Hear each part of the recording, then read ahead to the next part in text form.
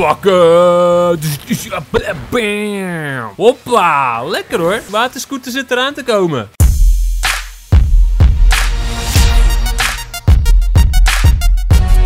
Yo Nintendo fans en yo Rikachu Army. Wil je ook in de Rikachu Army? Druk op die abonneerknop hieronder en help me naar die 25.000 abonnees, want we zijn er bijna. En dan ga ik nu lekker verder Pokémon spelen. Daar gaan we jongens, we zijn aangekomen op een gloednieuwe route met hopelijk gloednieuwe Pokémon. Ik hoor hier al wat in mijn rechteroog. Oeh, Marini en Pelipper. Marini vind ik echt wel heel leuk. Pelipper vind ik eigenlijk niks aan. Marini zou voor mij een 8 zijn en Pelipper een 4, denk ik, of zo. Oké, ik zie water, dus ik heb Rillaboom even voor aangezet. En jullie kunnen hierboven, hier zo, zien wat mijn team is. Maar ik ben eigenlijk heel erg benieuwd wat jullie team is. Welke Pokémon hebben jullie allemaal in je team gedaan om uiteindelijk Pokémon kampioen te gaan worden? Dat, laat het me weten in de comments. Ik ben benieuwd of er mensen tussen zitten waarvan ik denk van... Hé, hey, als ik niet alleen voor Galar Pokémon had gegaan, dan had dat maar ook wel mijn team kunnen zijn. Daar ben ik heel erg benieuwd naar. Dus laat het even weten hieronder in le comments.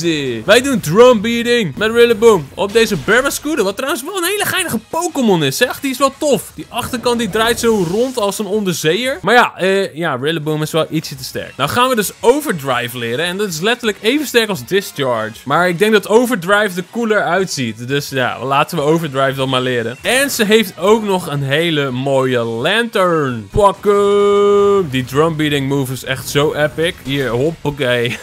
en daarmee gaat Rillaboom ook weer een level omhoog. Zullen eens even kijken wat voor visie ik hierop kan vissen? Ja, komt u maar. In 3, 2, 1. Ja! Oh, dit is Pyukamuku! Pyukamuku! Ik mag hem niet in mijn teampie gebruiken, maar ik ga het gewoon proberen. Ik gooi gewoon de Ultra Babs. Oh, ja, dat ging niet helemaal volgens plan. Ah!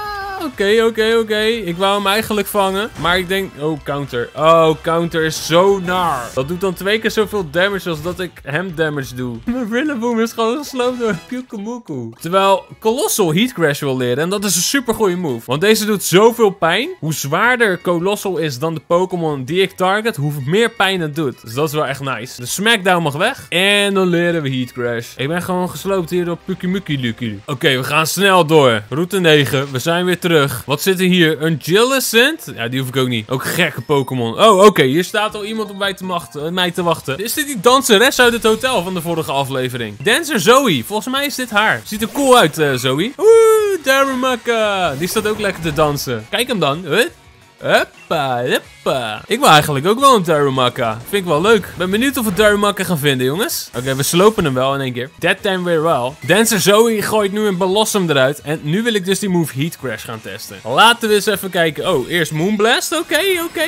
Zij is sneller dan ik. Oké. Het is niet erg effectief. Wij gaan Heat Crash doen. Dus wij zijn onwijs veel zwaarder nu dan Blossom. Ja, en dit is gewoon lekker. One hit KO. En dan hebben we Zoe verslagen. Go, go, go. Oké, waar komen we nu? Het einde van route 9. Oh nee, hier stem je alweer. Wat staan jullie daar te doen met Dreadnought? Laat die Dreadnought met rust. Het gaat echt niet gebeuren dat jij in de buurt komt van Spike Mud, wordt tegen die dokter gezegd. En dat betekent dat jij niet door kan gaan op route 9. Het is Team Jaals taak om te juichen voor deze liefdevolle mooie Dreadnought. En we moeten ook mensen stoppen dat ze hier niet over het water heen gaan. Oké, party people. En eh, hij zegt, ja, ik wil alleen maar zeggen dat ik uh, rotonbikes zo kan maken dat ze ook op het water kunnen gaan. Why we meet again, my young gym challenger friend. Herinner je mij nog? Ik heb je toen die fiets gegeven. En nu vraagt hij uh, of we deze Team Yell members nog een keer even een lesje willen leren. Dat wil ik wel. Want zo te zien gaat hij zorgen dat mijn fiets ook op het water kan straks. Dus uh, ja, dat zie ik wel zitten. Dan hebben we gewoon een waterscooter, jongens. Dit is de battle voor de waterscooter. En het is Rillaboom versus Linu pakken.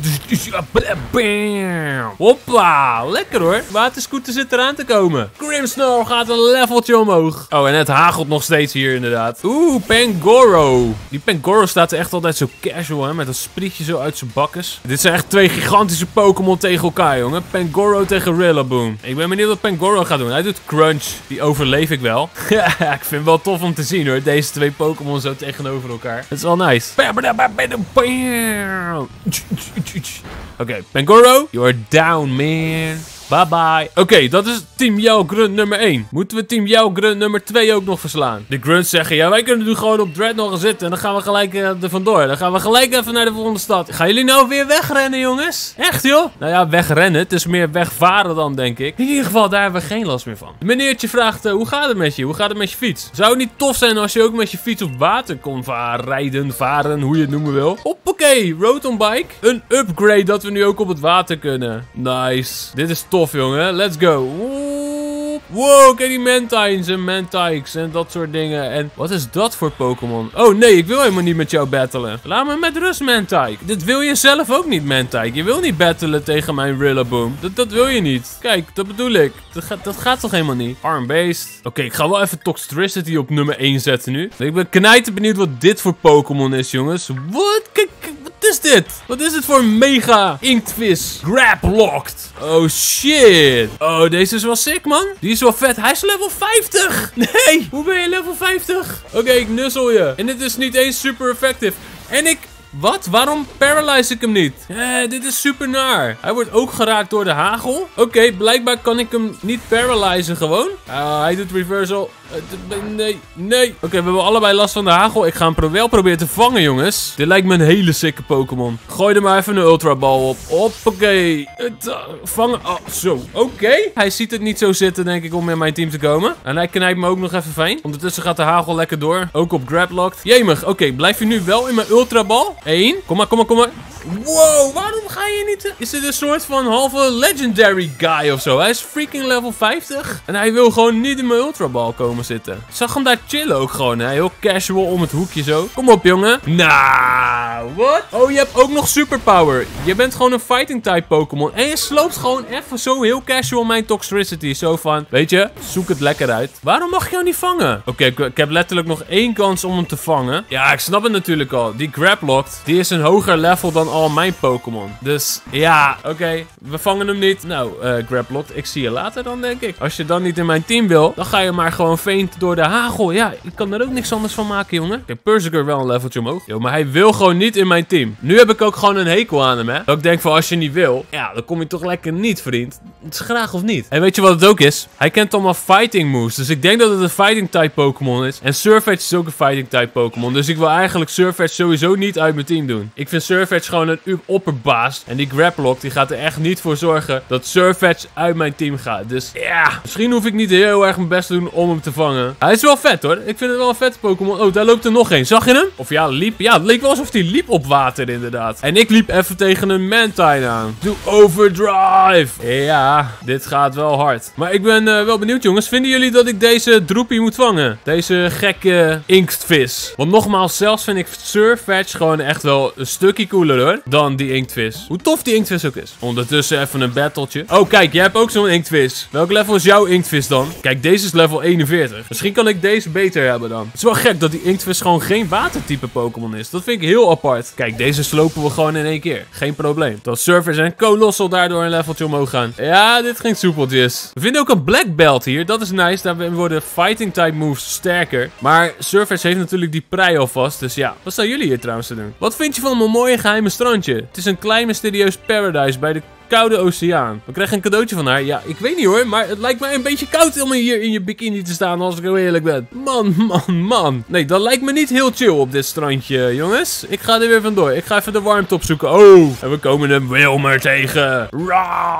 Ik heb zo'n vermoeden dat mijn Toxtricity ook wel af gaat rekenen met deze Wilmer. Ja, dit gaat echt heel hard. Het is wel een lekker plekje ook om XP te farmen hier, jongens. Even kijken wat hier nog meer is. Hier staat nog een Manatee. En die heeft een sock. Yo, sock. Go Toxtricity. Dus even kijken wat Overdrive op Sock doet. Is natuurlijk niet super effectief. Yo, die move is super sterk zo te zien, jongen. We maken iedereen kapot, joh. Maken we ook Throw kapot? Die heeft volgens mij nog een iets hogere defense. Ja, oké, kijk, die maken we niet in één keer kapot. Maak hem kapot. Hoppa. Sorry, Throw. Oké, dat was hem weer. Het is echt een uh, aardig groot stukje dit, met al dit water. We vinden ondertussen een Rare Candy. En hier zien we Octilleries. En we zien hier, wat? Wat is dit dan? Dit is een klot Dit is ook een inktvis. Oh, dit is denk ik de voor-evolutie van die Grablocked. Ja, dat ben jij, hè? Poison Jab hem. Hoppakee. Hij doet submission. Kunnen we deze dan wel vangen? Kunnen wij zijn voor-evolutie wel pakken? Ja, als, het, als we niet gesloopt worden door hagel allebei. Oké, let's go. Ik ga een ultra-bal gooien op deze guy. Hoppa. Pak hem. 1 en 2 en 3. Gaat dit makkelijker dan inderdaad zijn evolutie dan zijn moeder? Ja hoor. We vangen het kindje van de moeder. Ik denk dat de moeder nu wel boos is op ons. Grimmsnarl, gaat wel even omhoog. Dan gaan we even kijken wat dit voor Pokémon is, jongens. Klopbobbus. Het is inderdaad een fighting type Pokémon. Het is een hele nieuwsgierige Pokémon. En hij wil eigenlijk gewoon alles slaan wat hij tegenkomt.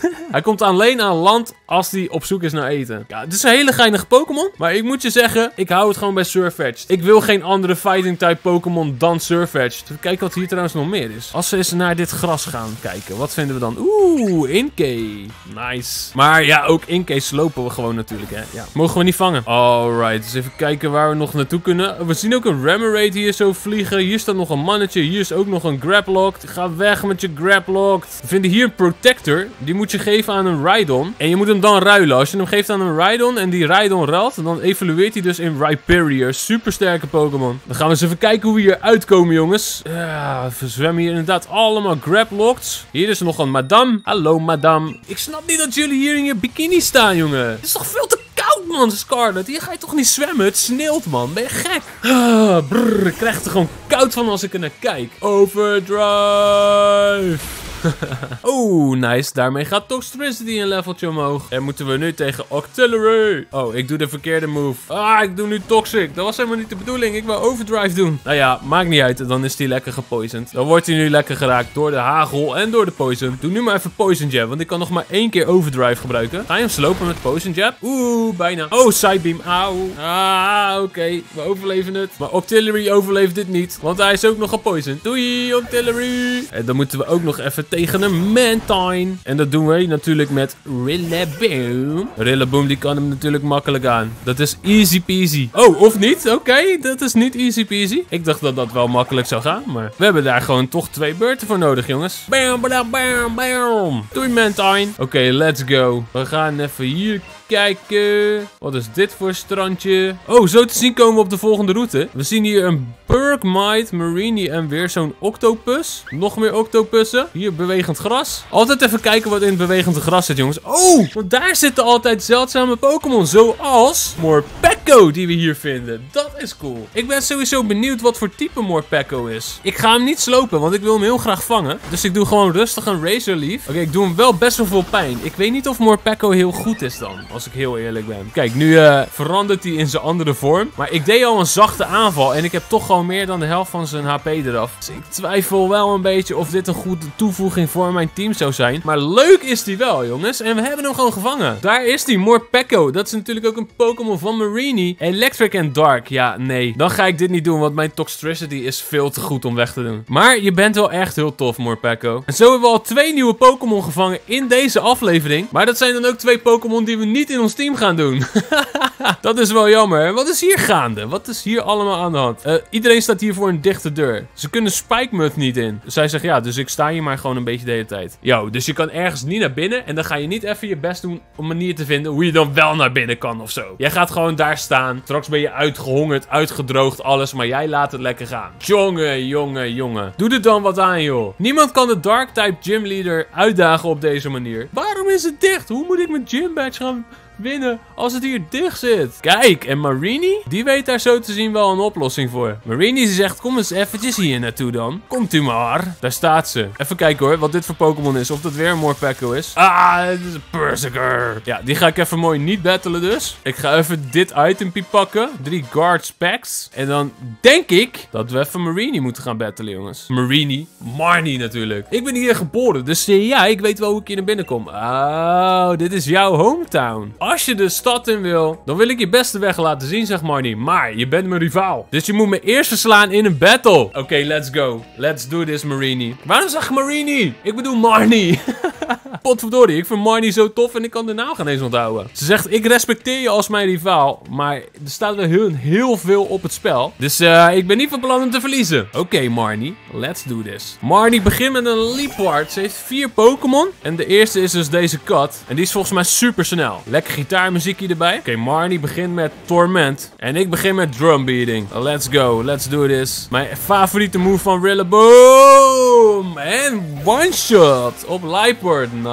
Berserker en Rillaboom. Beide een leveltje omhoog. Berserker is ook gewoon al level 46 nu, hè. We gaan nu te maken met Toxicroak. En daar heb ik niet echt hele goede counters voor eigenlijk, kom ik nu achter. Laat ik het dan maar even met Surfetch gaan proberen. Ja, dit is een beetje gek. Ik heb hier helemaal geen goede counters voor. Dit moet je eigenlijk met Psychic doen. Met Flying, dat zou ook nog kunnen. Of met Ground Moves, maar die heb ik gewoon alle drie niet. Hmm, dit is wel iets om even over na te denken, jongens. Poison Jab. Ja, ja, dit kan een probleem worden. Ik heb zomaar het gevoel dat deze Toxicroak lastig gaat doen, jongens. Oh, die Poison gaat me nakken. Ja, ik denk dat mijn Surface down gaat.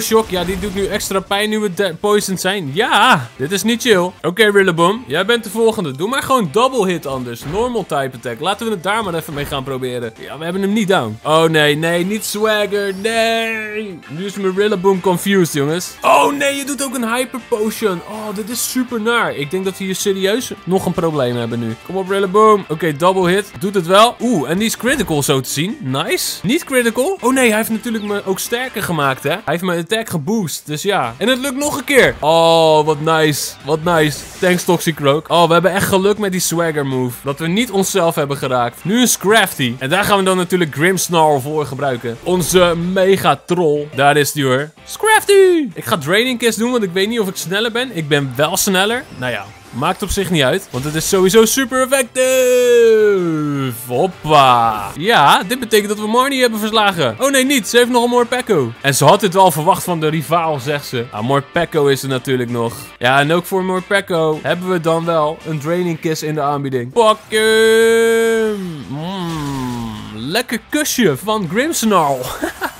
Die overleeft hij trouwens wel, maar hij is wel boos. En ze zegt, hier is een speciale move die ik heb bewaard tot het einde. En die speciale move is Spark. Oh, dan had ik wel wat anders van je verwacht, Marty, dan Spark. Morpeko is down. No, arm cute beestje. Colossal gaat nog even een leveltje omhoog. En we hebben Marnie verslagen. En dat betekent, oh wel, de stad in mogen, jongens. Marnie zegt, mijn partner Morpeko, die is de hele tijd geïnteresseerd geweest in jou en je kracht. En ik denk dat ik het nu snap. Maar iedereen in Spikemut support mij. En ze gaat sowieso sowieso de 8 gym badges halen. En dan hebben we een rematch, zeg maar niet. Vergeet het niet! Ik pak mijn revenge bij de Champions Cup. In ieder geval, ik had beloofd dat je naar binnen mocht. Dus uh, kom maar mee. Yo, we mogen de volgende stad in om onze volgende badge te halen. Maar dat gaan we natuurlijk doen in de volgende aflevering. Doe even een blauw duimpje omhoog. Abonneer op dit kanaal. Help me naar de 25.000 abonnees. En wil je mijn live zien gamen, volg me op twitch.tv slash en zie ik je daar. Of gewoon bij de volgende video. Mazzel!